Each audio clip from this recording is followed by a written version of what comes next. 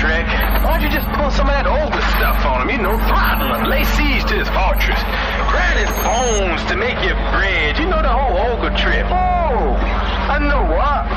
Maybe I could have decapitated an entire village and put their heads on a plate, got a knife, cut open their spleen, and drink their fluids. Does that sound good to you? Uh, no, not really, no. For your information, there's a lot more to ogres than people think. Example? Example? Okay, um. Ogres are like onions.